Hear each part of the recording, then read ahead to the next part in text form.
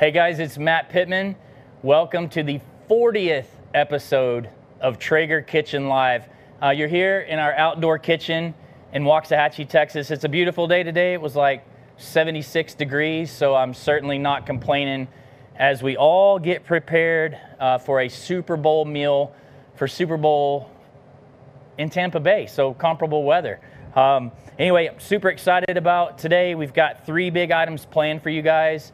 Um, I've done six or seven of these Traeger Kitchen Lives myself, and uh, you know, when I did the very first one, I, I came out and said it was a, a good way uh, for me to share my passion for outdoor cooking. Um, I teach barbecue all the time, and during the pandemic, it's been difficult to do that. But uh, thank you to our friends at Traeger that put this together uh, to allow us to come into your home tonight and hopefully get you guys uh, Super Bowl ready. So um, anyway, and you might just be eating by yourself. You might be having, you know, uh, your family over, whatever the case may be. Um, but nonetheless, we're going to prepare you with three items today that are uh, sure to wow your guest for sure. So, a little bit about me uh, I'm the CEO and founder of Meat Church. We're a barbecue brand uh, located here in Waxahachie, Texas. We've been around since about 2014. Um, if you're a Traeger user, you're probably familiar with Meat Church. We do quite a bit uh, together. I'm a Traeger Pro, um, create a lot of recipes, and just do a lot of collaborative stuff with Traeger. Uh, and we certainly appreciate everybody in the Traeger hood using Meat Church. And so we're going to use some of our products today. I'll talk to you about those. Uh, we're primarily known for our barbecue rubs, but you know, right now we've probably got 150 SKUs on meatchurch.com with all sorts of cool uh, barbecue lifestyle merchandise and stuff like that. But anyway, uh, the Traeger family allows me to again share my passion for you guys and recipes that I develop and and like to share with you guys. Um, but I'll tell you, you know, my style is really to show you what I consider a very straightforward or simplistic way to make amazing food for your family and friends. We call it Meat Church because it's about bringing people together uh, to create great food um, while creating, you know, great and lasting memories. So that's that's what it's all about. And I often say the ways that I'm going to show you isn't the only way you can do it. Um, you know, I'll challenge you as we go through the recipes to kind of make these recipes your own. There's a lot of latitude in how you cook this stuff. There's certainly a lot of latitude in the flavor profiles. If you don't like something that I'm doing, then you know feel free to tweak it to your liking. Um, I'll talk a lot about pulling your head out of the recipe and really looking at the visual cues of the food that you're preparing.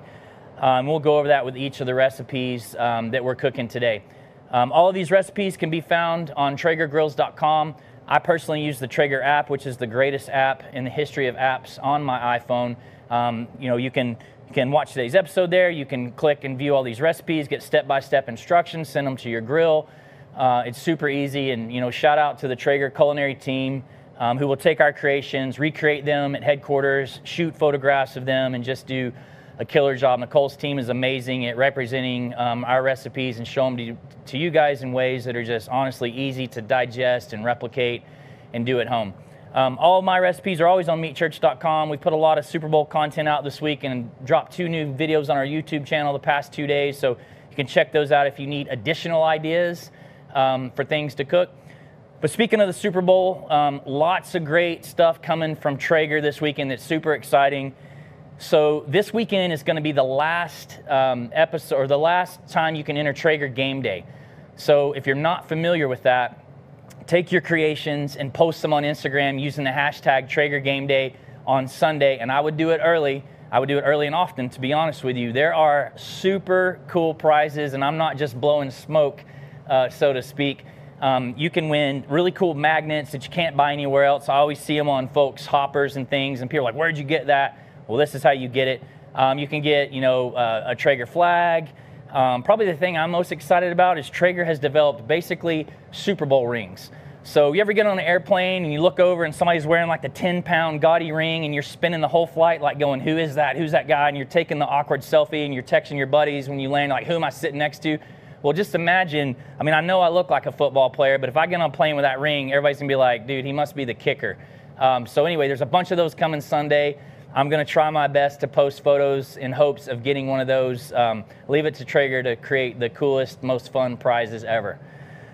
Enough about that. It's time to cook. Um, so it's 5 p.m. Central here. As this episode goes on, it'll start to get dark, but we've got lots of lights here, so we should be good to go.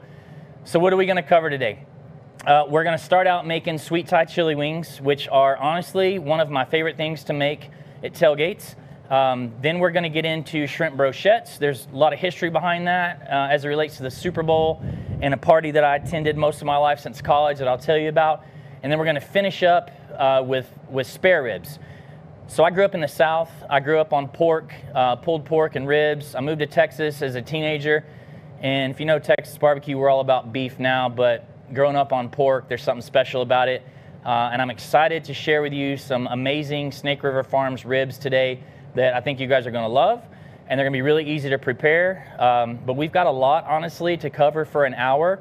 We've pre-cooked a little bit, but we're also going to cook everything we're talking about with you guys, with you know, the, with the exception of the ribs, which are just going to sauce at the end because uh, ribs for me are generally about a five-hour cook, and we can't get that done in an hour.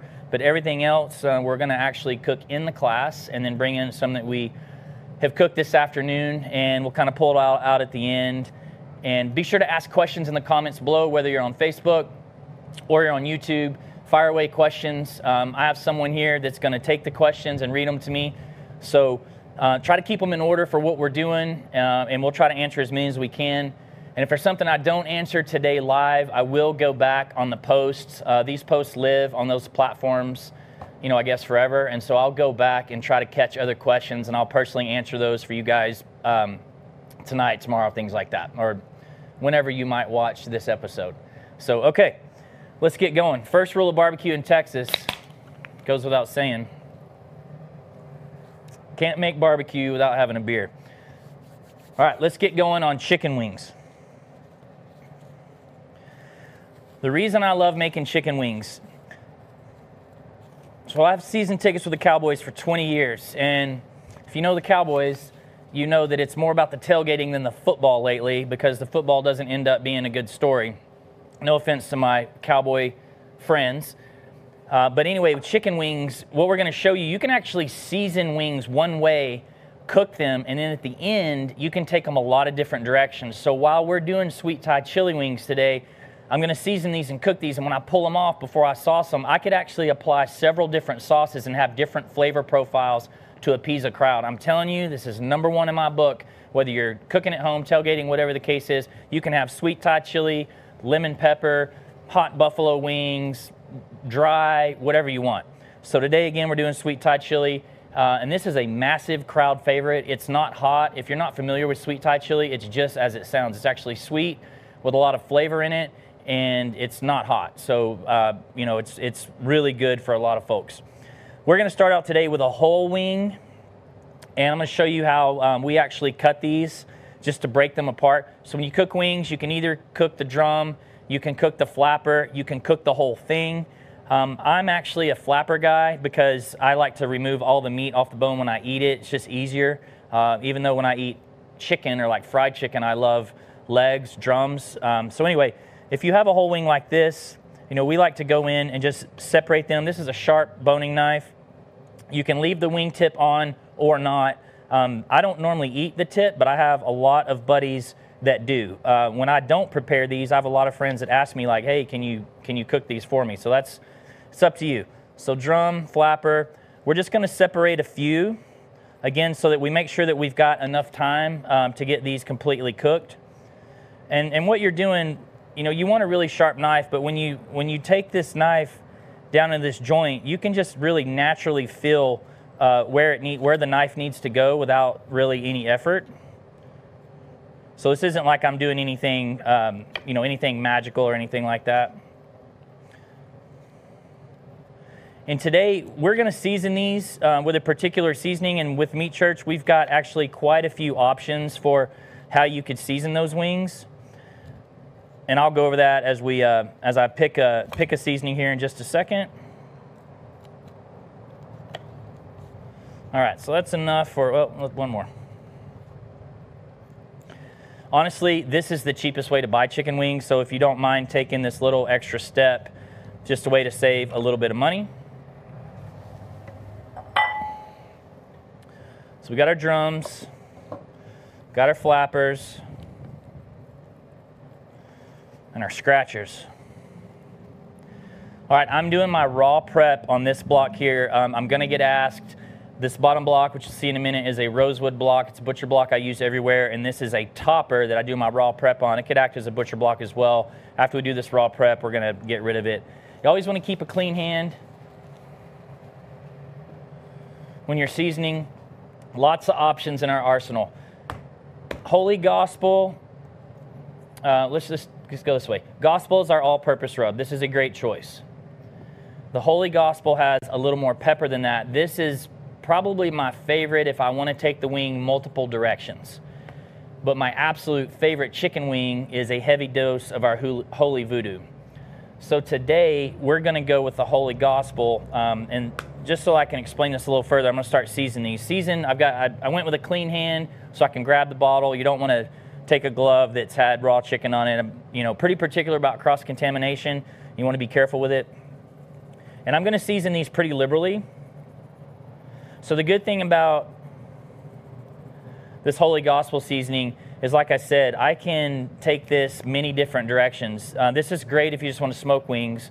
This is a, a very good base if you want to do what I said in the beginning, which is we're going to cook these and then sauce them a certain way. I could take this down the path of a buffalo wing, you know, sweet Thai chili, obviously, um, straight barbecue sauce, you know, whatever you're wanting to do. So this is when when we're going to Cowboys games, I'll normally go to Costco and buy a 10 pound bag of frozen wings, and I'll season them all with this and uh, just take them usually three different directions in the parking lot.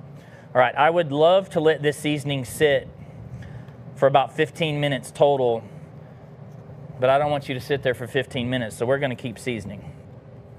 Normally, I season about 18 inches high to get a real even, real liberal application, uh, but it's a little bit windy today. There's a, there's a front coming in, so I'm if you can tell, I'm kind of playing the slice here. But, you know, get them dirty. No biggie. You can do this in a bowl, too, and toss them in a bowl. I'm going to do the scratchers while I'm at it. Okay. Big tip, I love to use a baking rack, cooling grid, whatever you want to call it. Uh, when we, we cooked a bunch earlier on larger, on larger racks, this is a little bit smaller because I wasn't going to be doing that many. Anytime I'm doing small items in the grill, I will often use these stainless racks. I get these on Amazon, whether I'm doing pig shots, pork belly burnt ends, wings. This allows you to open your grill one time in, one time out, uh, and not have to leave the grill open and put, you know, 97 chicken wings on it. So we're just gonna throw these on here. Guys, fire away questions. I don't know if we've already got any that we... Man, first question is going to be the toughest of the day. Who do I have on Sunday? I've been thinking about this all week. Um, we have a number of Meat Church customers that play on both teams, and that makes it really tough for me. And a couple of them have been commenting on our photos on Instagram this week, so that makes it even more hard for me. Um, by the way, we delivered a Traeger Timberline to Patrick Mahomes' house right before training camp, so that's you know my heart's really there um, also just sent Mitchell Schwartz, lineman, Kansas City, some rub. But there's a great story out of Tampa Bay. Ted Larson played in league for a long time, sat at home in Arizona working his butt off all year and got picked up by the Bucs late in the year. He's playing. Um, their center's also a customer, and it's tough to root, root against Tom Brady. I'm not a Patriots fan, but when he went to the Bucs and they're doing well, that's hard to see. So I'm just happy. So I'm an Alabama boy, so I've already got my championship. The good thing about this is I don't care who wins. Um, it's a win-win for us either way, and I think it's going to be. I think it's hard to root against Patrick Mahomes and team Texas boy, but I'll be a winner either way. We're cooking today on the Timberline 1300. Um, we're cooking with pecan pellets. You got a lot of variability in what kind of pellets you use. Um, let me come back to that so I can put these on real quick.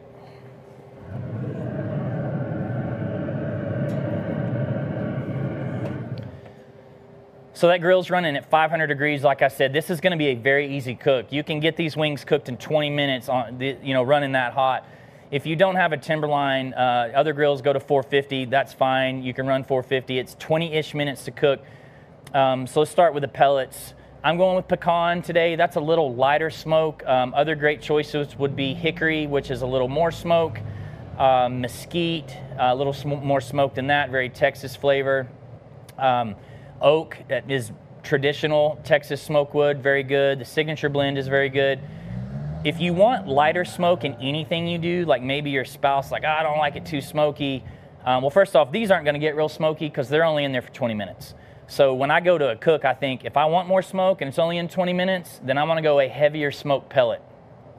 If you really are trying to lighten the smoke, then go with lighter things like alder, maple, or your fruit woods, um, which I don't, I rarely use those types of things. I, I want the smoke. So um, anyway, we went with pecan today. Pecan's a great all-purpose. Um, if you only ever go buy like one or two types of pellets, pecan and hickory are the middle of the road ones that'll never do you wrong. Nothing you cook will, you know, taste odd. Um, wood or pellets are an ingredient in your cook, so the pairing of it is very, very important to me.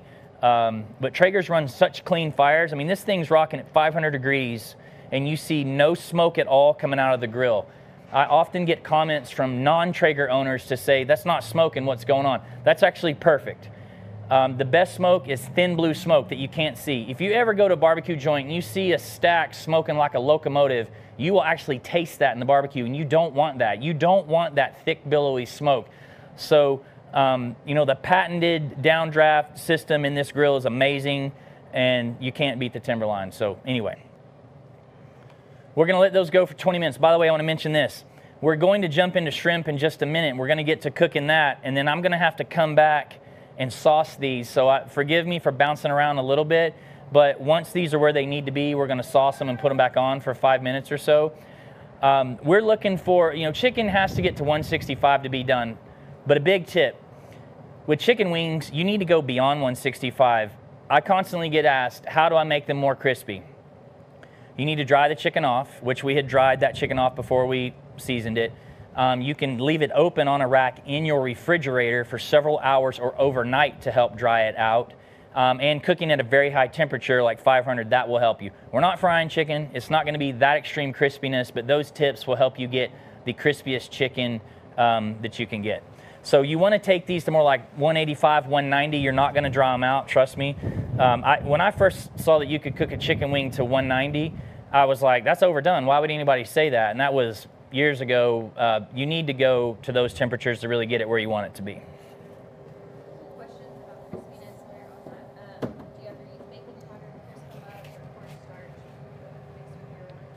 Yeah, the question is, do I ever use baking powder or cornstarch uh, with my rubs? So the, the cornstarch trick is a, is, a, is a good trick where people will apply cornstarch um, to the chicken before the seasoning. Um, I've done it. I don't do it on a regular basis, but that's a super popular way to help crisp up your chicken as well. What's your favorite meat church rub for, for wings? For wings? My favorite meat church rub for wings is definitely Voodoo Holy Voodoo was kind of all-purposey with a Cajun influence, has a slight jalapeno kick. Um, I can't eat super hot stuff, and I love this, so don't be worried about the bite. It won't work with certain flavor profiles, but like, you know, this just as a smoked wing, it can't be beat. Just on chicken in general, I've yet to find a rub just in the world that I like better than this. So that's my favorite. Um, but, you know, what we went with, Holy Gospel, obviously very good. Another one that is quite good is Honey Hog Hot.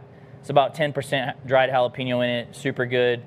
If you want something for your kids, it's really good. Um, my son that's eight eats this straight, like, like literally straight, puts it on popcorn. It's great on wings. So when I'm trying to get my little kids who eat like two things ever, um, like just like spaghetti and pizza, I put honey hog on meat. So that's really good uh, for your family.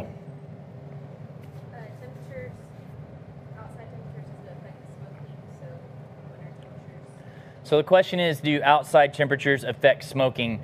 So obviously we're in the dead of winter and a lot of, you know, in winter here in the States. Um, the weather's good here today, but it's gonna be in the 20s next week. So how does it affect you on a Traeger? I mean, the whole deal is the colder it is outside, the more fuel the Traeger has to burn to maintain those temperatures. But honestly, Traegers are very efficient and great at holding temp. A lot of other I'll just say lower brand pellet grills that compete with Traeger aren't as good as efficient and their temperatures are all over the place. But the D2 models um, with you know with the technology in there, these things. I mean, you know, it was cold here recently, and it, every time I came out and looked at the temperature, it was within you know a couple degrees of where I was trying to be. If you're in an extremely cold part of the country, some people put um, you know, the blankets on top of their grills. Luckily, we don't have to do that here in Texas, but all the cold weather does is just burn more pellets generally. Someone asked if uh, they don't have super smoke, if they cook at a lower, longer, lower temp for longer, will it get the same smoke flavor? Yeah, the question is if you don't have super smoke on your grill, could you go lower temperature and get the same smokiness? That's exactly the trick. Um, you don't have to have super smoke. In anything you cook, um, you know, I told you I would talk about pulling your head out of the recipe. The lower you cook it, the more smoke you're going to apply on it. With chicken, the more rubbery it's going to be. So you've got to think about that as you finish the cook. Do you jack up the heat on a grill? Do you end up flash frying something at the end or you know whatever depending on where you're trying to go with it but yeah if you don't have super smoke it's fine to just go lower you know these wings um, certainly we're not running super smoke that's 225 that's an option that's available at 225 degrees or below and we're at 500 right now Do you recommend brining wings? Do I recommend brining wings? Yeah, I didn't do that today um, because we're, we're running these really hot, and I don't think generally you need to. I brine a lot of things, and we even sell a brine, and I'm not, you know, to prove to you I don't think you have to do it, I didn't even bring it up. So, you know, I brine my turkeys at Thanksgiving when it's a really huge piece of meat that you don't want to dry out, but there's, you know, such little meat on a wing. I know people that do it. I don't think it's necessary, but you could dry brine or wet brine, absolutely, if you've got the time. I'll tell you one thing I do love to do is take my raw wings and I have, you know, again, Costco boxes of Ziploc bags. I drop those wings in Ziploc bags and pour marinade in them, throw them in my fridge overnight. So, especially for football, I love taking buffalo sauce, pouring in a Ziploc bag, closing it up, putting that in the fridge. When you go to cook that, you have imparted serious buffalo flavor in it versus just, you know, coating the outside in. You go to Wingstop, they cook your wings, they toss it and whatever. That's kind of what we're doing today. But if you marinate something in a flavor profile, it's really, really going to change the flavor. So that may be something you want to do. Okay, we're going to jump into shrimp uh, while these wings are rocking. By the way, one more thing. Um, you don't have to flip these wings, but I'll tell you, I'm going to flip them at one point. Um, I like to get char kind of on all sides. Cooking the wings directly on the metal grates would give us more char than the little grate I put in there. But uh, anyway, um, I would recommend flipping them a time or two during the 20 minutes. Again, you don't have to, but um, I probably will. So I'll probably stop after we put the shrimp on, and uh, depending where we're at and see how they're looking, and I might flip them. Um, you know, no matter when I'm grilling wings, I usually try to flip them. So, okay, let me grab some gloves and we'll do shrimp.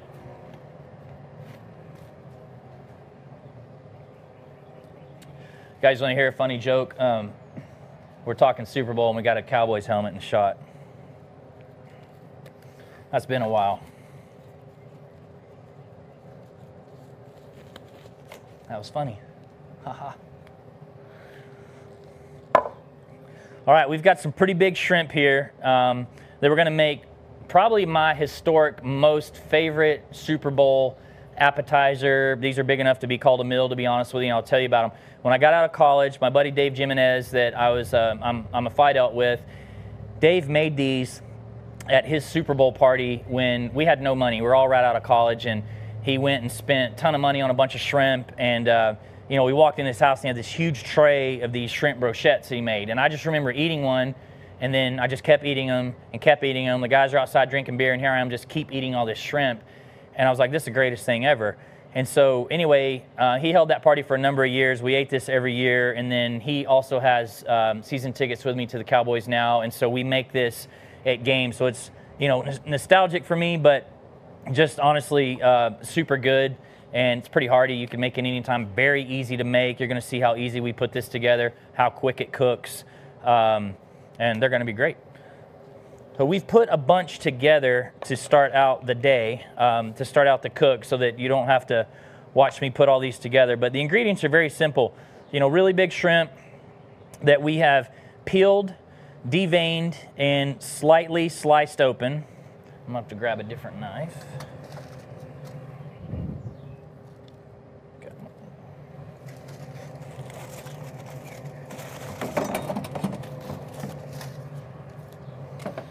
All right. Uh, let me go over the ingredients real quick.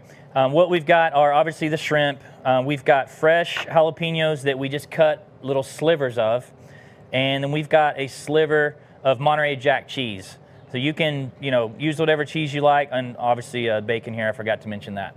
So we've peeled these, we've deveined them, And what we've done on most of these, I left one to show you, is I'm to take this chef knife very carefully here, and I'm just going to kind of fillet this open, just to split it open a little bit more.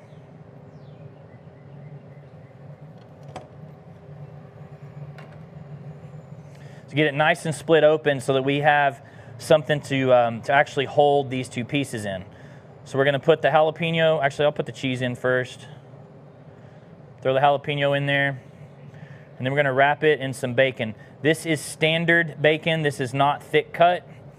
Um, I love thick cut bacon, but when I'm grilling something like this, and I'm going to toothpick it by the way. A lot of things I do I don't toothpick, but this you need it to stay together, so we're going to toothpick that. Um, thick cut bacon when you're grilling it takes longer to to fully cook and uh, and longer to crisp up. So I usually go with a standard cut to give yourself a shot at it, um, you know, being more more crispy and more done before this shrimp is going to cook really quick, and so I don't want this shrimp to turn into complete rubber. Uh, if I had thick cut bacon, it probably would be pretty rubbery by the time the bacon was done. We're just wrapping it around nice and tight. I'm going to come back up to the middle with it and then toothpick it. So when I make um, jalapeno poppers, you guys have seen that. I've got a, we've got video on the Meat Church YouTube with that. We don't toothpick it because the bacon, the bacon will usually hold. And there you go. You can see that really good. Just tuck it in there. But on these, um, this stuff in the middle can come out fairly easily. So we're gonna. That's why we're using the toothpick here. Obviously, don't forget to take toothpick out at the end, or you're gonna have a pretty bad bite.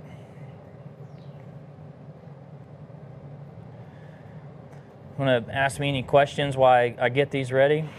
Uh, what model of Traeger do you recommend? What model Traeger do I recommend? Great question. So we're fortunate enough to run a Pro, an Ironwood, and a Timberline. And we to, honestly, I'll, I'll be totally, totally honest. We rotate our cooks around a lot. In fact, just to tell you the honest to God truth, right here in this kitchen right here you can't see like right within my line of sight i have obviously the timberline i have a pro 780 right in front of it and you guys see the ranger right here um, the last time i used this particular timberline in my outdoor kitchen was actually in the november episode of traeger kitchen live um, i've been cooking on my pro ever since then so that you know that go, and that's the truth so that goes to show you pro makes amazing food uh, there's a couple people at traeger they're probably laughing right now because little known fact, I left my last dish in this 1300, and when we came to clean it this week, we found it. And I think I can still smell it. But anyway, the bad thing was that dish was prepared in a Griswold vintage skillet from 1930 ish. And I wasn't letting that bad boy go. So I basically spent all night worrying about my baby, cleaning up that skillet. But anyway, back to the question uh, we have a barbecue splash shop in Waxahachie, and when people come in and ask us which Traeger, it the Ironwood, you know, middle of the road. So from price perspective, you got Pro, then the Ironwood, then the Timberline. This Timberline's a beast, a tank. I've literally never had one issue with it. With that said, there's nothing wrong with the Timberline or the Pro for that matter. The Timberline, I think, is really the best bang for your buck. If your budget can afford it, I would go Ironwood. Um, you know, but honestly, the main thing for me, make sure you get a D2 model. If you've got a historic model, they're great, been around forever, but I think there's a really big difference in the D2 models um, with the independent air and pellets capability.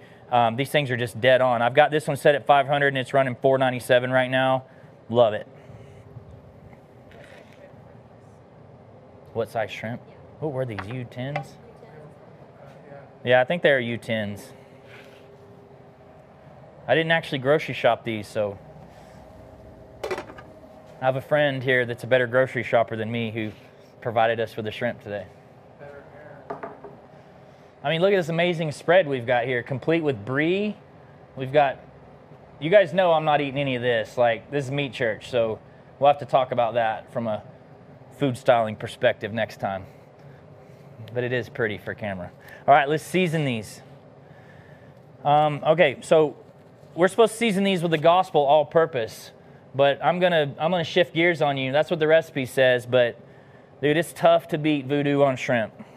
And we already got holy gospel on something, so we're going holy voodoo. Lots of options. Any of our honey rubs, our gospel, our holy gospel, our holy voodoo, all would be great. I'm going to season these on both sides. So here, the wind's not blowing. Now you can see my 18 to 24 inch application. I'm just going to pat these just a little because I'm going to flip them over and um, get going. I don't want you guys to have to wait. So ask me some questions while I season these, and then I'm going to put these on the Ranger that I've got set at 425 degrees with pecan pellets for a pretty quick grill. Do you soak the toothpicks first? Do I soak the toothpicks first?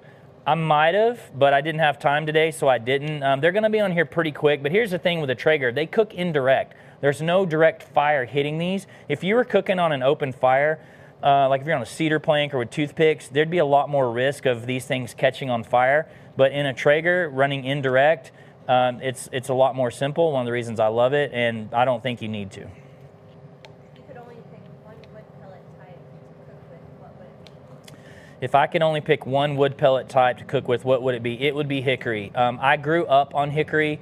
Uh, my granddaddy's farm in Alabama is covered in hickory, so it's just something we had. It pairs nicely with pork, but I feel like it's the best all purpose out there. Uh, so that's kind of what I like. It gives me a fair amount of smoke, um, great flavor. I can use it on anything. So hickory is my favorite. What model do you take tailgating? What model do I take tailgating? Great question. Um, we always take the Ranger, um, but for bigger groups, sometimes we take the tailgater a little bit bigger. But I love just carrying the Pro. The Pro's the lightest. Um, you, so my truck's kind of tall, shocker in Texas, and so loading up a Timberline isn't real fun. And I'm afraid if it falls out, it's like a lot of money. So I love taking the Pro because it's easy. I'm to check in on these wings um, while these are these are just kind of adhering for just a quick second. Same thing as I said with the wings. I'd love to let it sit about 15 minutes. Um, when the seasoning is adhering to your meat, no matter what you're cooking, what's happening, um, it, you know, if we came back in 10 minutes, these shrimp would look really wet. Uh, the seasoning is pulling the moisture out of the meat. But the point of that for me is that it's just really adhered and on there. Um, you're applying a seasoning to an appetizer. You don't need to do this the night before, anything like that. However, the great thing about this, I always stress prepping when I talk tailgating and then football in general. So now, you know, not a lot of tailgating going on. You're doing this at home. Y'all do this on Saturday. Do all this prep on Saturday, wrap it up and put it in your fridge. Enjoy Sunday. It's no different than uh, Thanksgiving or Christmas. Do your prep the day before. Crack open a beer and do this prep so that you can just enjoy the cook on Sunday. Sunday, you could just be about having a cold beer, cooking your food, watching the last football game of the year, because we're all going to be sad come Monday unless you win those awesome Traeger prizes. Uh, we're going to realize there's no football and we're going to be forced to watch basketball or hockey. Let's check in on the wings real quick.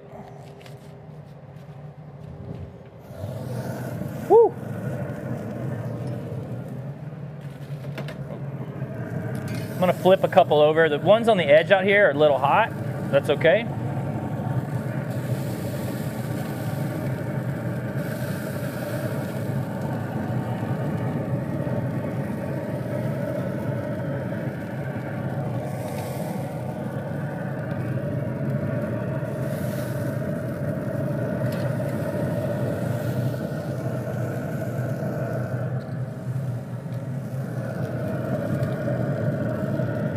I'm gonna leave those on there.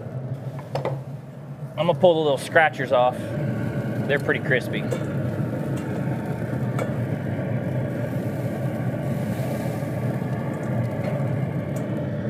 Leave the rest of those wings. They're already looking really good. Very key point, you gotta get yourself an instant read thermometer no matter what you're cooking. This is how you nail the desired doneness of anything you cook. This is a Thermapen MK4. Um, limited edition multicolor, so I know when people steal my stuff. But this is how you determine the uh, desired doneness, and we'll check the temperature here in just a few minutes because they're getting pretty close to being done. But with all that said, it's time to put these shrimp on. And I'm not trying to be crazy about gloves. Like, hey, gloves are like super scarce during the pandemic, so I got to ration these. But just to keep myself clean, I, I don't mind handling this bacon, but just because I'm doing a bunch of different food, it'll just help me stay clean without having to run off to a sink. All right, we've got the Ranger going at 425. I'll open it up and show you guys what's going on. This one is being powered by my Goal Zero Yeti battery pack, which is great for portability. I wanted to use that today to show y'all when we get back to tailgating, this is how I power my Traegers remotely. Goal Zeros allow me to not have any sort of power source. I don't have to run a lousy, noisy generator. Um, you probably can't see it there, but the Goal Zero back there, it's smaller than this, and it says it's got 30 hours left on it, and it's only been running an hour. So they're great for Traegers. We're gonna load this grill up with these shrimp. See how many I can fit on here.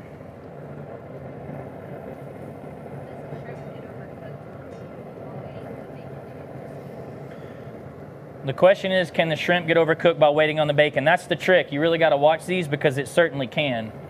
Um, we're to watch these and we'll, we'll kind of keep an eye on it and see when they look right, pull them, and hopefully be good to go, not overcook them.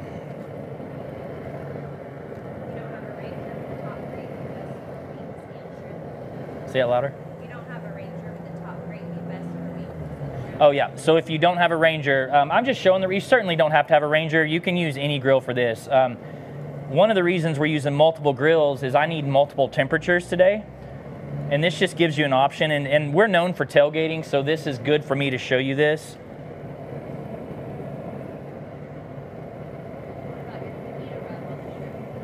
Question was the fajita rub on the shrimp. Fajita is great. Fajitas, salt, pepper, garlic, onion. It's what I use on, obviously, fajitas, all vegetables. It would be really good on shrimp. It's got a little more black pepper in it than the rub we used.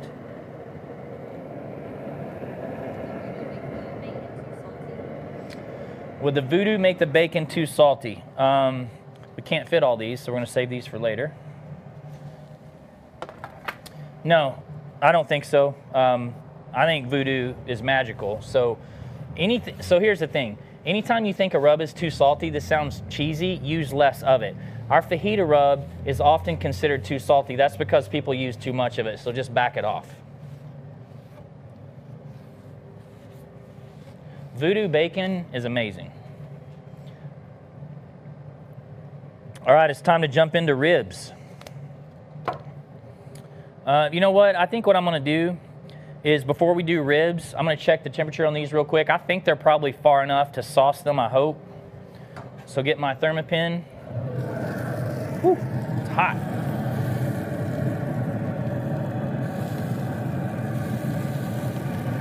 Okay, just to show you guys, this wing is at 186 degrees. So there's no Magica TV there. That's the real deal. That's perfect. Beautiful color. You guys see that Holy Gospel on there? Um, 186, 187. This is great. So we can go ahead and sauce these, put them back on, and get into ribs. All right, little trick.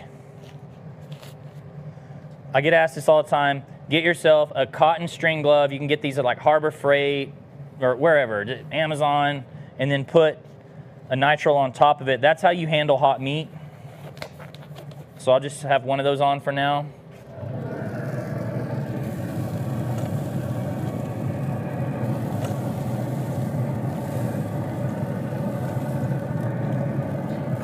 So I can pick up this rack with that and it doesn't burn me. All right, this is my hot glove. Um, this is my non-hot glove. So let's talk about saucing these. This is the point where I mean, that wing is gorgeous. That, that's the benefit of cooking at 500 degrees right there. Get all that caramelization. Um, that wing looks epic just like it is. And you could serve these just like this. You can have some dry rub wings um, just like this if you want. Now, again, third time I've said this, you could put any sauce in here you want and toss them up, put them back on the Traeger for maximum five minutes to let that sauce set. You're just letting it tack up because you can just sauce it, but if you just sauce it and you go to eat that wing, the sauce is going to run down your face. So I'm going back in the Traeger to tack it up for just a couple minutes. Um, actually, I'm going to, normally I'd throw it back in the 500 degree grill. I'm actually going to turn my grill down, which is going to take a few minutes. That way I can put my sauced ribs on there in a little bit. The grill is going to be plenty hot to tack these up. So I'm going to dial this down to 275.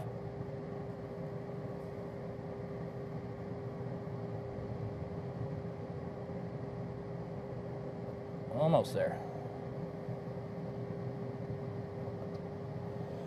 You can do that from your app, which is my favorite thing. I love laying in my bed and controlling my Traeger. Um, so again, you can do any number of sauces. So the, the recipe in the app or on Meat Church, on the Traeger app or meatchurch.com will show you how to make the sweet Thai chili sauce um, from scratch. And so, with time in mind, we've already prepared it in advance, so we're just gonna toss in this. But I wanna explain a key point to you. And I'm just gonna pour a little bit in here while we're talking. This sauce is great, by the way. Just a little bit of sauce. So, by the way, go easy anytime you do something like this because you can always add more, but you can't take it away. Just toss them around. So, I want to key point to my teaching. I mentioned in the beginning, so that looks really good and wet. I'm gonna add just a little bit more. Key key point. We can we can work on out. You know, we can be super chefy when we want to be. Meat Church won Best Bite at Chefs for Farmers in Dallas, which I think is Texas's premier food and wine festival. We can go in and be fancy. Barbecue's not fancy and it doesn't have to be. So what I find when I teach, you don't have to make everything from scratch. You know, you're not out trying to win a competition. A lot of people might come to a recipe and say, dude, I don't want to make that. I don't want to go buy the eight things. I just want it to be easy. Cool. Go buy yourself a store-bought sweet Thai chili sauce. No shame in this. And you could just use this sauce and apply it. You go down the condiment aisle, get yourself a ball of barbecue sauce, sweet Thai chili, you know, Frank's buffalo sauce, take your wings and sauce them three different ways in three different bowls and have three different options for your guests. Awesome way to do it. Super flavorful. So now I can appease, again, all kinds of different flavor profiles. That's the way you can make super hot wings for the dudes that think they're tough, and you can have the more savory, flavorful ones for somebody else and make everybody happy. All right, we're just going back in the Traeger for just a few minutes.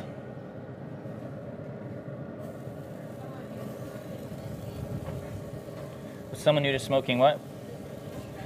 Yeah. The question is for someone new to smoking, would this be an easy recipe? Absolutely. This is very easy. My scratcher's in there. So think about it. You seasoned wings, you cooked them for 20 minutes, you tossed them in sauce, and you cooked them for three to five more minutes. It doesn't get much easier. Yes, go do this.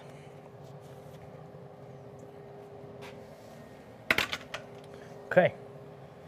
We're to jump into ribs. Hey, we're doing pretty good on time, too. Let me look at my shrimp before we pull the ribs out. Woo! Suckers look good.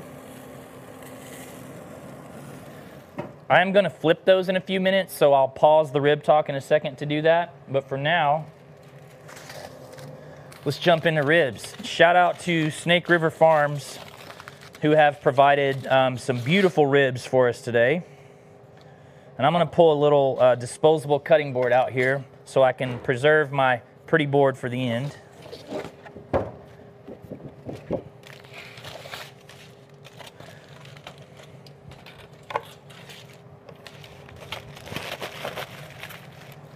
This is just a pretty popular disposable cutting board that we'll do prep on.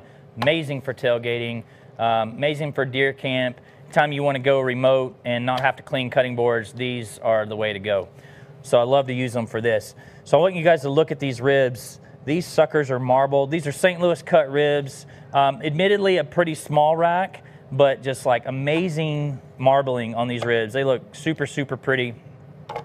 This is going to be the quickest rib lesson I've probably ever gone through uh, in my life, but the great thing is, again, go to the Traeger app. It'll walk you through step by step. Um, this is very, very easy. So I'm just going to give you the high points and some key things to, uh, to remember. Um, we're going to talk about these raw. I'm going to season them. I'm going to talk about what, what you look for in stage two of the cook, which is when we wrap them and put some goodness in the wrap. We're going to do that. Um, then I'm going to talk to you about the final stage of the cook, the third stage, which is saucing the ribs and kind of finishing things up. So again, this is a this is a St. Louis cut. So it's the whole spare rib cut down uh, to a St. Louis cut. Um, this rack, this one I picked out randomly isn't that thick, so not real big, but they have gorgeous marbling. When I'm picking out ribs and I'm looking in the case at the grocery store, I'm looking here for this little white fat um, to find the ones that have that marbling. It's like looking at a Wagyu steak. The more that you have, the better it's gonna taste. Um, normally I'm looking for a really thick rack of ribs to get something nice and meaty. Um, this is my favorite type of rib to cook. If you compete in barbecue, this is what you cook, so you're kind of used to this. Um, the taste is superior to a baby back rib, in my opinion. Baby backs are usually more meaty. um, but it's the the St. Louis or spare ribs are widely regarded to have a better taste. Snake River, amazing company, um, heritage breed hog, so it's it's it's great tasting. Um, the minute you have a heritage breed hog, um, it's tough to go back to a commodity brand pork rib. But using this recipe, you can make any ribs you buy at your grocery store taste amazing. Um, to be honest with you, so we're gonna jump into it. Tell you what I'm gonna do. This way, I, I can keep things kind of separate. I'll put my heat glove on and flip these shrimp.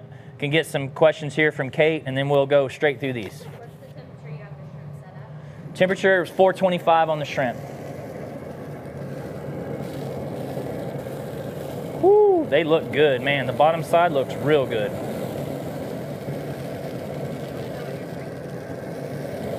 People want to know what I'm drinking? Huh. I'll show you later. More questions? About the ribs, uh, are you a three to one guy or what's your questions?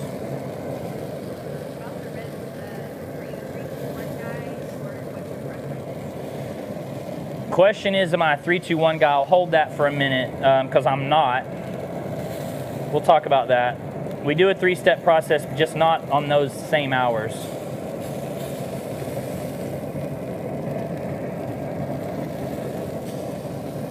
Okay, I'm trying to keep them in over the over the deflector plate here so that they're the drip plate, drip pan, um, so they don't get too burned from the fire. By the way, this thing's a beast. If you like to cook steak, that's a searing machine. Okay, I'm gonna use these same gloves for this. More questions? Okay, let's jump in. A rib cook for me is a three-step process. Um, the question a second ago was, am I a three-two-one guy? What's three-two-one? Three-two-one is cook the hours, cook the ribs for three hours unwrapped in the Traeger, wrap them up in foil for two hours, open them up and leave them out for an hour back on the grill. So three hours naked, two hours wrapped, an hour back open and sauced at some point. So my recipes to cook ribs at 275. Um, six hours would be too long. They'd be overcooked, even for a big rack of ribs, much less these small ones. You can cook ribs, by the way, anywhere from 225 to even up to like 325. There's no real right or wrong way. Lower temperature, a little more smoke. Um, I don't think you need to cook at 325. I think you safely go 250 or 275. The higher you go, the more attention you have to pay to it. Hotter cooks can get away from you, but don't be afraid to cook hot.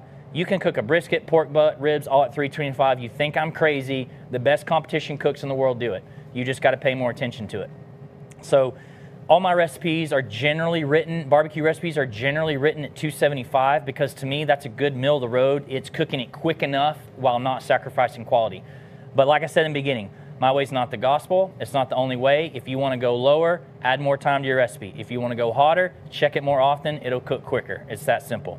So we're going 275 today. Um, so let's pretend these aren't this small. On a normal rack of ribs I buy from the grocery store, at 275, my process is more like two to two and a half hours in the smoke, usually two and a half. Okay, step one, two and a half hours, not three. Step two is two hours in the smoke. So that's about four and a half ish. And then I unwrap them and sauce them at the end for just 10 or 15 minutes. So I'm, you know, four and a half ish hours is how long mine take normally. And that's tried and true for me. And I'm gonna talk to you about key points along the way Get those numbers out of your head. Forget how many hours. I want you guys focusing on what these look like. You can cook ribs with your eyes, not your watch. That's what it's about. Barbecue is about the feel and the look. It's not about electronics. It's okay to use electronic tools as safeguards. The essence of barbecue is about what I'm smelling right now, what I'm seeing right now, how it's looking, and that'll get you where you need to be. Just use this as your sanity check if you need it. Um, I don't use it really on ribs, and I'll talk to you about that. First things first, you're going to get yourself a dry paper towel, and you're going to pull the membrane off the back of the ribs. I've actually already done that from this rack because we're trying to teach you three things in an hour. Dry paper towel is the key. You can either grab the edge of it right here, or a lot of people grab the middle. I grab the edge. This keeps the membrane dry, and you hopefully peel it off in one pull. Why do I do that? Two reasons. I want the seasoning to penetrate the back of the ribs, And also, when I'm done cooking, I want when I go to eat a rib, I don't want that what I consider a nasty film underneath. That, that's a really bad bite. When you go to take a bite of ribs and you have that film underneath, I'm just going to say this: you go to barbecue joint and the membranes weren't pulled. That's a lazy barbecue joint owner that doesn't want to pay somebody to pull the membranes. So pull the membranes. Uh, I skipped over this, but another thing I look for when I buy ribs is in the case, flip them over and look at the bones and try to find the straightest bones. That'll help you when you go to cut at the end. When you go to cut your ribs, can't always see the bones. Um, you can cut them a lot easier. If the bones hook when you're cutting, all of a sudden you're going to cut into a bone. So look look for as straight straighter ribs as you can get. If you ever go and see a guy picking through every rack of ribs, it's probably a competition guy trying to find the meat, most marbled, meaty, and straightest ribs. We're going to start on the bone side. And we're going to season today with our Honey Hog Hot. I know that I'm touching this with this hand. I'm going to get rid of this glove in a second. Um, it's pork. Honey Hog Hot on the bone side. I season pretty liberally. Believe it or not, it's hard to put too much of this stuff on here. And I'm going to pat it dry. I'm to pat it. I'm to pat it in because I don't have time on my side today. Skipped over one thing. I just realized should you use a binder? And I brought some yellow mustard. We're in Texas, so we're using Whataburger mustard. If you don't know what Whataburger is, it's the best hamburger chain in the country. It basically makes In-N-Out its lowly little brother, eight days a week. Mustard would be a binder if you want to use it. Squeeze this on raw and rub it in. That is just a way for the seasoning to adhere to the meat. It doesn't affect the flavor profile. Um, it's not necessary. But again, I grew up in the South where you slathered all your ribs and all of your pork butts. So you can do it. But if you've got 20 minutes, you don't necessarily need it. I go both ways with it. I like to season and walk away for 10 minutes, flip it over, and repeat the process. In 10 minutes, these ribs will be soaking wet. But because we're in a hurry, I'm just going to kind of encourage it. And I'm going to flip these ribs over. Look at that little police line we left there. Learned that from my friend Kirk. Not even here to hear it. And then on the top, we're going to go with one of our OG rubs, Honey Hog. Honey Hog is one of the two rubs I took on Barbecue Pitmasters in 2014, where we were told we had best taste. So Tuffy Stone, Myron Mixon, um, and Moe Cason all wanted some of this. So honey rubs are very popular in barbecue. This is our all-purpose with honey powder added to it. It's great. I uh, told you earlier, kids love it. Well, I want maximum coverage on this. And for those of you that just watch me season and think I went a little crazy and I don't know what I'm doing, I love it when people say that on social media. I own a seasoning company. I think I'm pretty good at how much to put on here. But for my years in competition, this is what you do. Trust me, it's not going to taste too salty or anything like that. I'm going to pat it a couple times and I'm going to set it aside while I talk about the cook and then I'll kind of reference this here in just a second. Let's check in on our shrimp.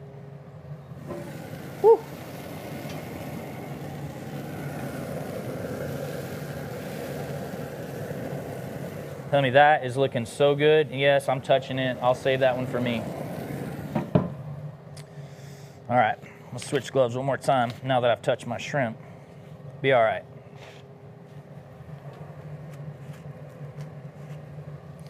Let's talk about cooking these. Any, any questions you have? Okay. So I told you we're going 275. We're rolling pecan pellets today. Pecan and hickory are my favorite. Um, I also love, um, we're gonna forget about these. Hang on. We're supposed to be five minutes on the sauce and we just about forgot.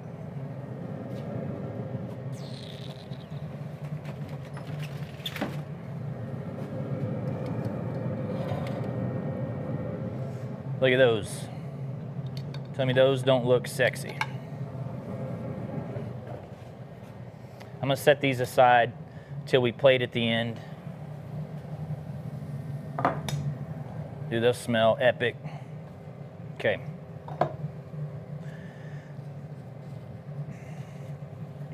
So, um, 275 with hickory pecan. I also recommend adding some cherry. Cherry gives a great flavor and a great color to pork, so that's another great option for you. Going to the visual cues. You're gonna put these in your Traeger, these ribs in your Traeger after they've adhered, and we're almost to a point where I can show you what I mean there. They're starting to get wet here. This whole thing will be wet within a couple minutes. Once you've achieved that, you're good to put them on. Um, You, by the way, you don't ever need to season ribs the night before. I love prepping the night before. Um, the best rib cooks in the world don't season the night before. They season within the hour of putting them on the grill. Um, the top rib cooks I know, they go one hour before the cook, 30 minute rub it here on one side, flip it over, and 30 minutes on the other side, never anymore. So for what it's worth, there's a tip for you. But we're gonna put these in the Traeger at 275 degrees. And what I want you to do is be looking for nothing more than a visual cue. These are gonna start to turn reddish and they start to turn to a mahogany color. You're looking for that beautiful red mahogany color. And at that point, you wanna pull them and wrap them. And I'm gonna show you that because I've cooked a rack for two hours um, that I've prepared for you guys to show you the color that you're looking for.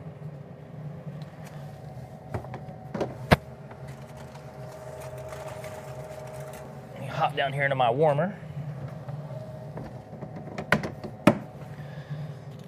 I got a warmer down here off camera. Okay, so after two hours, let's. This is uh, I've just I'm just holding these in foil, so these these aren't technically something that was wrapped in foil quite yet. This is just uh, and this is all just the seasoning and. Um, ignore the foil. Like I said, I wrapped it in foil just to hold it. Actually, I'll put it on the edge of this whiteboard so you can see that. Question is, do I wrap to finish? So that's jumping ahead just a little. I will, um, I'll cover that here in just a second. So this is where, this is what we did with these raw ribs. This, these cooked for two hours, and that's the color I got. This was right at, um, if they were bigger, it'd be two and a half hours. Since these are on the smaller side, you see this color. Um, that's what you're looking for. You don't need to temp it. You don't need to worry about how much time has it been. When you get that beautiful color, and by the way, they wouldn't look wet like this. They look wet like this because I wrapped them in foil to, before we started to hold them for you. They would be dry. Um, but that's the color that you're looking for. When you get to that color, it's time to wrap these ribs. And we'll go in next into talking about wrapping. I'm actually going to wrap them. So you're going to grab yourself two pieces of heavy duty aluminum foil. So don't get the standard weight, get the heavy duty. Um, that's because the standard, you can rip a hole in it like fairly easily. So you wrap for two reasons. One, to protect that beautiful color. I wrap it, it won't take on any more smoke and it'll stay that bright red color. And the second reason is you can add things to the rib wrap should you choose to enhance the flavor. And that's something that a lot of competition guys do. You can choose to do this or not. Um, some people will just cook their ribs all the way through till they're, till they're done. Then they'll wrap them in foil just to hold them until you're ready to cut them and eat them. But doing what I'm about to show you is a really popular way to honestly have like just a super good, super good rib. I get a ton of feedback on this recipe off meatchurch.com. People like, dude, those are the best ribs I've ever made. What is that comprised of? It's gonna be super simple. We're gonna put down a bed of just a little bit of, uh, of brown sugar, like a handful. So I'm, I mean, this is just like a light handful. Not too much. So a lot of people do brown sugar, butter, and honey. I'm not doing honey today, and I'm gonna go ahead and tell you another tip. If you ever do this and then your ribs turn out really black and you email me and you're like, hey Matt, my ribs turned out hard as a rock, what I do wrong? Sugar and honey burn if you put too much in it, if you cook it too hot. Um, so just go light with it and check it often to make sure you don't burn it. So I went brown sugar, and I'm adding four pats of a really good butter like a European butter, not nothing cheap. Um, and then I'm gonna add a bead of pepper jelly. So this is apple cherry habanero. This is actually two times heat. Um, this is optional, you don't have to get this. This is out of Houston. It's my buddy Craig Sherry. But apple cherry hob is a competition secret of mine from back in the day. I don't compete much anymore, but I'm just gonna do a nice little bead. This stuff's great. Um, this would be the equivalent of you, this is like liquefied pepper jelly. If you bought yourself a jelly, like a jalapeno pepper jelly, you could put that in here. Um, you could heat that up in a saucepan and that's basically all I'm doing.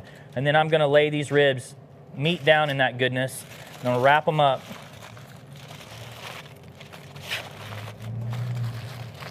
My Traeger is coming down to 275. It's at 300. I'm gonna throw them in the Traeger. By the way, let's check back in on these ribs here. I mean, how long has it been? Seven or eight minutes, and it's almost completely adhered. You see how wet that is? So when it's completely wet, I'm ready to throw them on. So I'm gonna remove that. Better check in on our shrimp. Whew. I'm gonna pull some of those before we finish the ribs, so bear with me a quick second.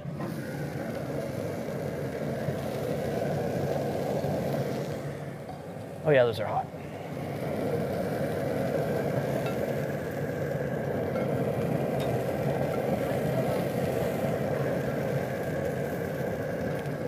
A couple of those aren't done yet, so I'm just gonna start. Question? What's the hottest rub that you have? The hottest rub I have is Honey Hog Hot, and it cooks down to not be very hot, to be real honest with you. Um, and then the Holy Voodoo, it has a kick, but I don't consider it hot. Favorite Traeger barbecue sauce? Favorite Traeger barbecue sauce we're going to use today, which is sweet and heat. So I'm always looking for a sweet heat flavor profile. That's my desired profile in barbecue. So that's my favorite. There's lots of good ones. Traeger Q is good, but that's my favorite. We're going to sauce in just a second with that. Let's just go on to talking about the um, um, rest of the rib cook uh, while we wait on those shrimp to finish. So we put we we take our wrapped ribs and we put those back in the Traeger. The next step is honestly very simple. Um, what you're going to do from there is you're probably going to go about two hours, like I said earlier. So I'm usually two and a half on the first step. Second step is about two. But you're going to need to open up that foil packet and you're again looking for another visual cue. You want the bones to be popping out on those ribs by about a quarter inch. When they do that, the ribs are telling you they're done. You can use an instant read thermometer if you want, but I actually don't care what the number says. I actually I just want to feel in between the bones, I'm going to feel no resistance and I know they're done. If you're looking for a number, it's just over 200. Um, but I honestly like I don't ever use my Thermapen at home on ribs. I just look for the bones to pop out. And I've got a rack that's at that stage um, that I'm going to pull out and show you. Questions? From the ribs, can you use mayo as a binder? Question was, can you use mayo as a binder on ribs? Um, if you guys follow my Thanksgiving videos, I put Duke's mayonnaise on a turkey breast. I don't actually put it on ribs. I've heard you can do it.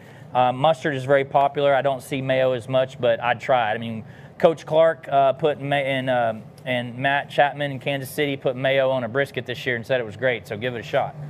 Let me know. I'm gonna grab these ribs.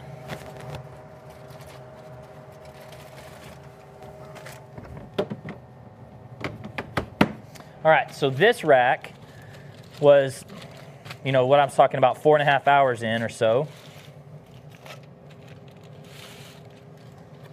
And as they've sat in the warmer, you can tell they've continued to cook. That was a little risky. These probably are on the, actually, these look super sexy. I was gonna say they might have been almost overcooked.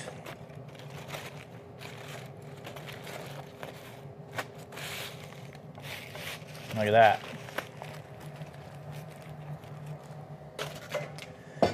So here we go. You guys see this bone, these bones poking out? Quarter inch. That tells me those ribs are done. And if you wanted to sanity check, go in the meatiest part in between. I don't feel any resistance right there. Um, it just goes right through. That's when I know these are done. So at this stage, we want to sauce them um, and put them on. Same thing like the wings. We're going to put them on for like five minutes. Forgot my sauce.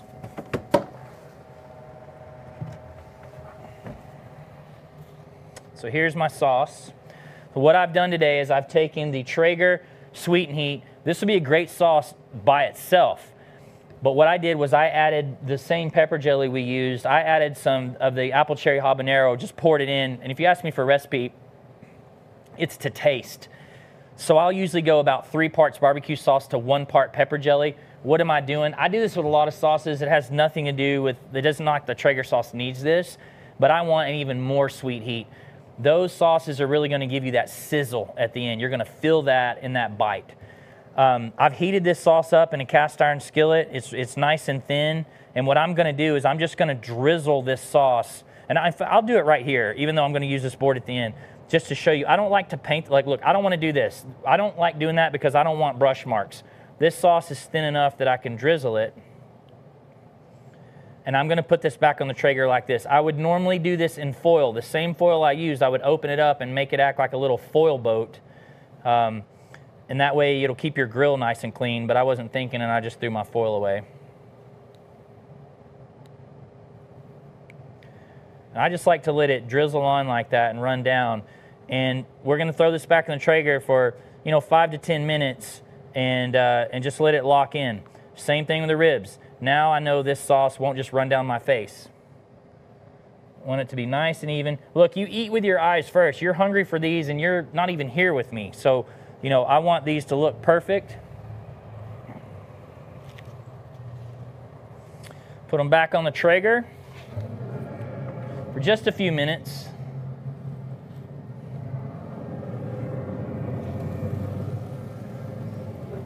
And it's going to be time to eat in just a quick minute. Do you spray with apple juice or butter during the Great question that I totally missed. Do I spray with apple juice? You can spritz. So I brought my spritzer. Everything's bigger in Texas. Don't get your little hair bottle, hairspray bottles and throw them away. Get yourself a real sprayer. This is a competition hog sprayer that we get at feed stores here in Texas. You can get them online. Um, I spritz with apple cider vinegar if I spritz, and I do this about every 45 minutes. This is a great spray gun. Check this out. I just get this like beautiful little mist. It's actually how I get the flip in my hair also. Um, I can dial this up, shoot all the way across the yard. Kids love it. Get yourself one of these. Every 45 minutes with cider vinegar. Totally skip that. Great question. I'm gonna pull the rest of these shrimp while that while that stuff's tacking up. Guys, fire away questions because we're gonna be we're gonna be uh, trying to pull this stuff all together here. Get ready to eat. How do you get to know a butcher? How do you get to know a butcher? Uh, that's a good question. I would um, I would certainly find one. You know, procuring really good meat is important. Um, you know, great barbecue starts with great ingredients, and I'd certainly want to know uh, my butcher, or no, I want to I want to know my rancher if possible. That's not always you know real practical, but if you can know where your meat comes from, fantastic. I would definitely find a local butcher and um, buddy up with them, and that's how you get the best cuts. Man, those look good. Let's see here. Um, we've got other ribs coming. We're going to bring the wings out. You guys fire away the questions and let me start getting all this stuff together. What's your favorite dessert on the Traeger? What's my favorite dessert on the Traeger? I mean, that's a really good question. Um, I'm known to cook everything from cocktails all the way to desserts on the Traeger.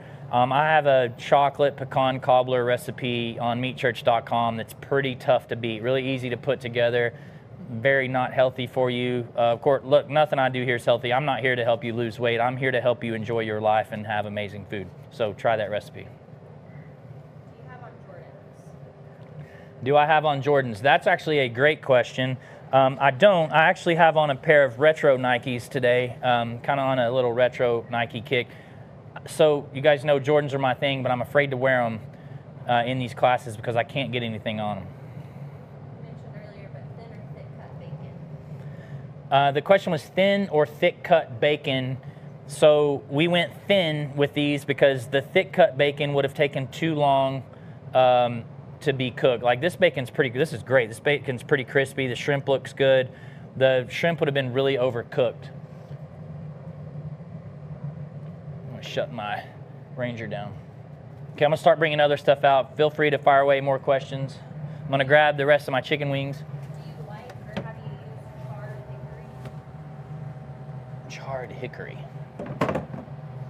I don't really know what that means. Have I? I don't know. The question was, have I used charred hickory? I don't really know what that question means.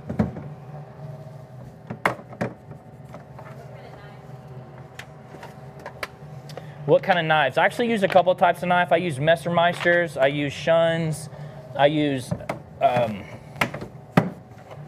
today we were using this um, Victorinox uh, boning knife. I'm actually using one of their chef knives. Um, I'm gonna use a Shun slicer here in a minute on ribs. A lot of good knives. Is it dangerous to leave the raw chicken uncovered in the refrigerator? Is it dangerous to leave the raw chicken uncovered? Well, the danger is your wife's going to be pissed. Uh, take that from personal experience. Um, it's not dangerous. People do it all the time. They air dry out chicken. Um, make sure your kids don't grab it and try to do it without your wife looking. Any recommendations on jalapeno poppers? Any recommendations on jalapeno poppers? Heck yes.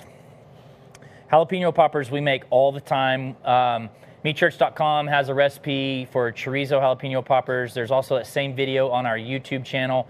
Um, really easy. I saute some chorizo, and that's optional. Soften a block of cream cheese is what you need to do, and then take a bunch of our honey hog rub, tablespoon, and put this in the cream cheese, or our Deez Nuts honey pecan rub. Put that in the cream cheese. Mix that up. Season the cream cheese. It's a game changer. Wrap it in a half slice or even a whole slice of standard cut bacon and a little more seasoning on top. Cook them at 275 for just over an hour. Amazing. These ribs been in five minutes. I'm pulling them. Look how pretty those look. Man, I'm gonna let those sit for just a second. We can talk a little garnishes. Again, you eat with your eyes first, so we wanna make this stuff look pretty. Um, I've got some uh, toasted sesame seeds here. Sweet Thai chili works great with that. Little pop, good taste, good look.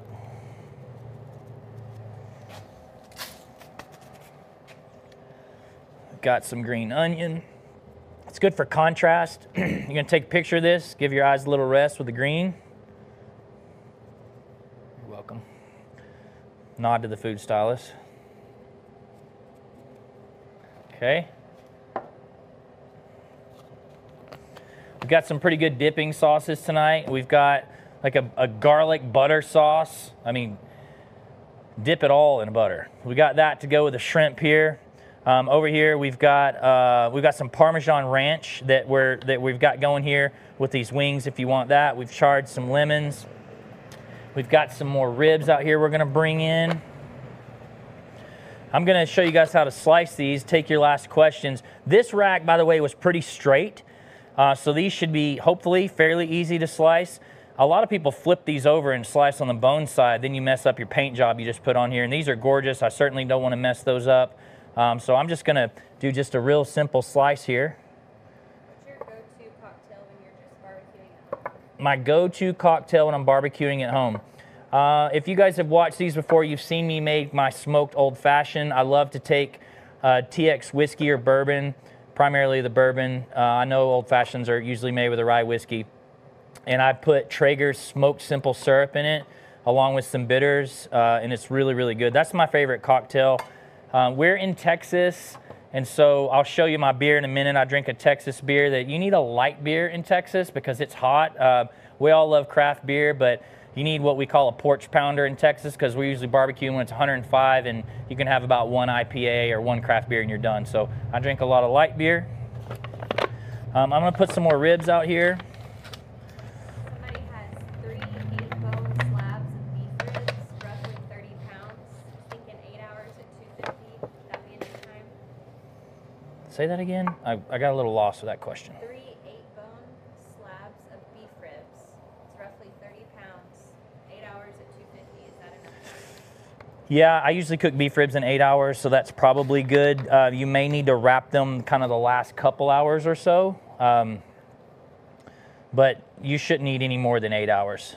But if you start getting in trouble on a long cook, by the way, just tip for you're cooking anything, aluminum foil can be your friend in cooking barbecue. If you're running out of time, wrap it in foil and crank the heat. That's funny. I just like put two racks of ribs together. What's the best temperature for pork butt and seasoning do you suggest? question is best for pork butt favorite seasoning uh, 250 either our honey hog or our gospel rubs are really good this is cutting boards rosewood block. Um, we actually sell this one in my shop in waxahachie um, gorgeous epoxy inlay uh, rosewoodblock.com to get something similar with your own logo on it. Um, great friends of ours love them god this looks good and it smells amazing. I'm gonna I'm gonna get it prepared for my Super Bowl party here. Shout out to Snake River Farms for the um, for all the fine meat here today uh, and for this little special thing. This is going to be pretty fun in a minute. And I'm going to make myself a little plate here. This is such an epic meal that I'm going to bring in the Meato Bandito box. This is this thing's legendary, by the way. This thing only comes out for the finest meals. I mean, this is like Raiders of the Lost Ark here. My cutting board has its own box. Oh, yes. Meato Bandito, our mascot.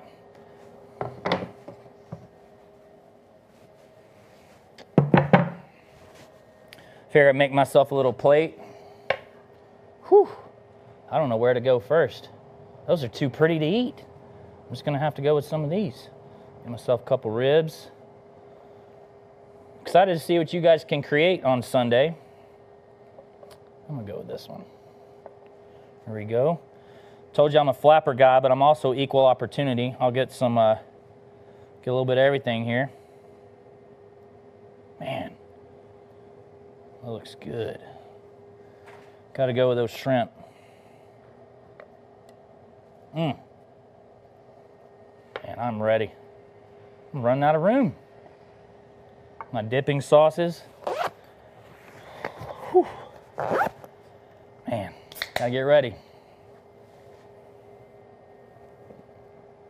It's time. I can't wait anymore.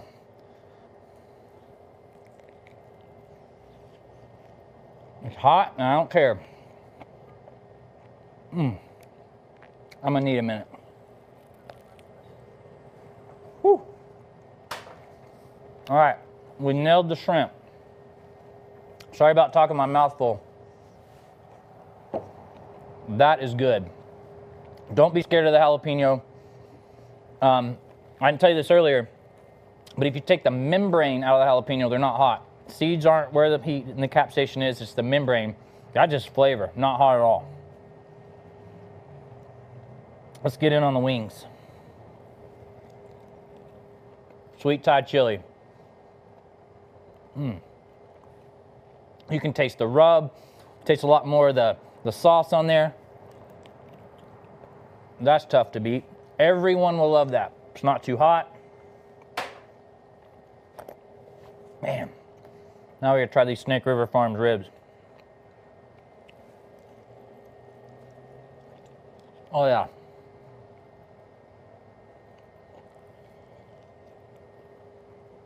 You want a rib where you can leave teeth marks. That's perfectly cooked. Fall off the bones overcooked. If you like that, that's cool. But when you can take a bite and leave the bite marks, that's good.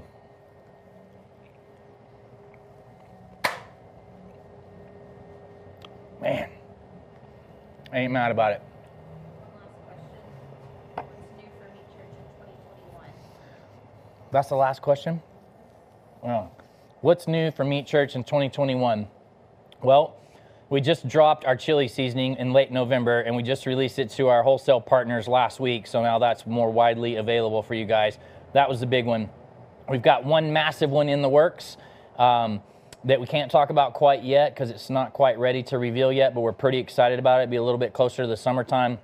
Uh, we do have a huge spring collection release in March. We got a ton of our popular, cool merch coming out. Um, so that's kind of that's kind of the next thing. Hey, I appreciate you guys hanging out with me, putting up with my antics, listening to my hot air, giving me my my uh, creative release for the last couple months. I haven't done this since November. Um, if you like this, uh, you can catch me again on May 27th. Um, May is National Barbecue Month, so that definitely will be a fun time. The next Traeger Kitchen Live is in two weeks. Um, these are always a good time, so be sure to tune back in two weeks. My buddy Clarence Joseph, also from Texas, is going to be on doing some comfort food. So we're going to shift gears and talk about what my favorite food is comfort food. Um, you guys stick around or hop over to Instagram if you had fun here tonight, want to ask more questions. Chad Ward, aka Whiskey Bent Barbecue. Chad is at the Dan Patrick Studio getting ready for the Super Bowl. Um, I think he passed his COVID test and they're going to let him in the facility. Uh, so he and I are going to go Instagram live in about 10 to 15 minutes and kind of talk about what we did in BS, have a drink. That's always a good time. But want to thank you guys again for tuning in. Don't forget, Hashtag Traeger Game Day all day Sunday. But take my advice, do it early. Um, good luck. Get yourself some prizes. Go check out the last two um, YouTube videos on the Meat Church channel dropped this week. We'll give you a couple more um, appetizer recipes for Sunday uh, for your family. And again, thank you guys for spending time with me. Cheers and see you guys in May.